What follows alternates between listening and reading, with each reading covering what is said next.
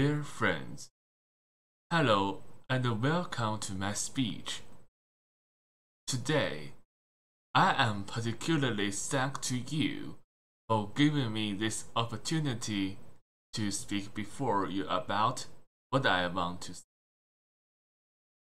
Today, the topic of my speech must also be of great concern and anxious to all of you here. That is, the global impact and harm of environmental pollution. In recent years, the topic of environmental pollution has been the focus of people's discussion. As everyone has seen, prevention is not well prepared for the negative effects of high industrial development. Environmental pollution is one of the three major global crises. It's making the earth that we lie on becomes worse and worse. Global warming makes people more alert to environmental problems. Let's discuss carefully the impact of environmental pollution on our lives and how we should do to make a such harm coefficient to minimize it. How many policies and are in place to prevent further environmental degradation? First of all, I will introduce to you, to you the harm of environmental pollution to the earth. It mainly includes the following three points. First, the ozone layer in the atmosphere has been destroyed. In this question, the ozone layer is mentioned. So, what is the ozone layer? According to the survey data, the ozone layer is located in the stratosphere of the atmosphere. It's the highest level of ozone concentration in the stratosphere. The largest part of which is located at the height of 20 kilometers to 25 kilometers. It has many functions, including absorbing ultraviolet radiation, warming the atmosphere, infection effect, and so on. It can protect the lives on Earth from the effects of ultraviolet radiation. Through the above characteristics, I found that the ozone layer is a crucial part of the Earth. If the ozone layer was destroyed, the consequences can be if the ozone layer is destroyed, ultraviolet radiation will reach the ground and cause harm to our bodies. This leads to an imbalance in the ecosystem. Secondly, desertification. As the name implies, is due to lack of rain, vegetation destruction, erosion of water, and other reasons. So that we used to be full of flowers and trees. The vibrant land becomes more and more barren, and it is becomes less and less suitable for human habitation. So, we also have to understand that if desertification becomes more and more serious, there will be less vegetation on the earth, and there will be less space for us to live. Therefore, in my opinion, the most effective way to prevent this situation is to formulate some laws and institutions concerning land desertification, including preventing people from cutting down trees and reducing excessive economic activity. Third, in recent years, environmental pollution has attracted the attention and research of meteorologists that is global warming.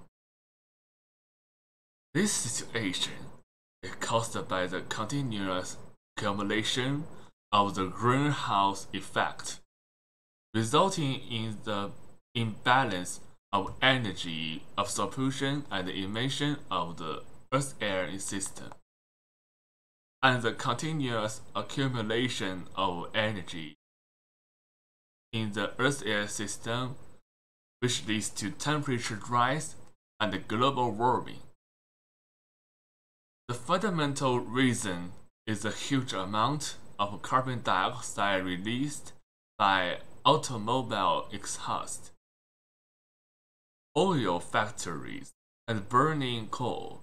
Carbon dioxide produces a large number of greenhouse gases, leading to the rise of global temperature.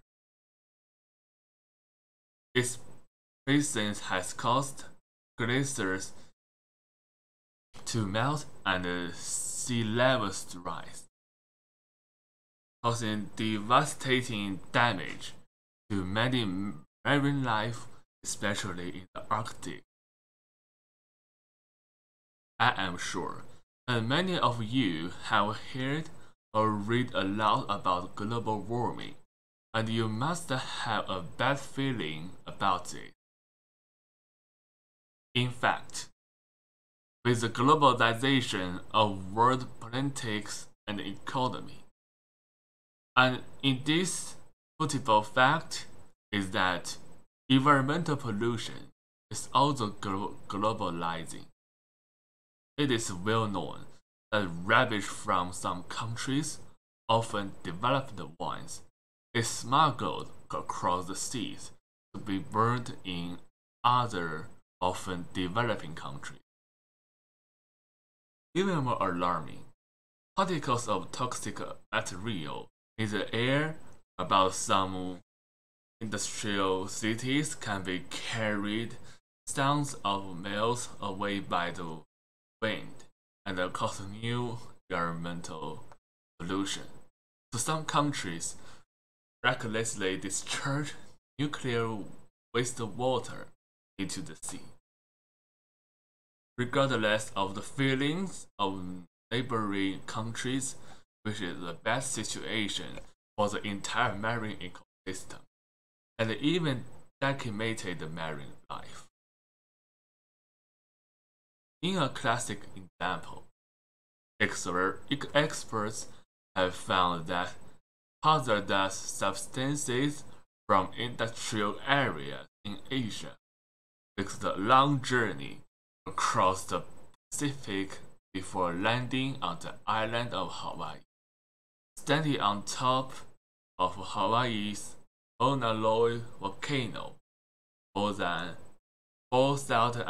4,100 meters above sea. One would expect the air to be perfectly clean most of the time, except for the occasional concrete gas and erupts from its crater. In fact, weather and environmental monitoring stations often detect toxic levels of arsenic, zinc, copper, and other elements at the volcano summit. Through the professional detection we can intuitively feel the power of harmful substances in the in exhaust gas is relatively large. Once inhaled into the lungs, the consequences can be from what I have said before. I believe that you are fully aware of the harm of environmental pollution to us and the whole biosphere.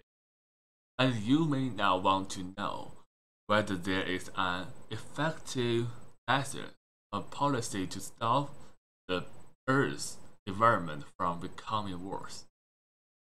If you observe carefully, you will find that many of the things that human beings have done that are not wrong but often lead to the further spread of environmental and the climate.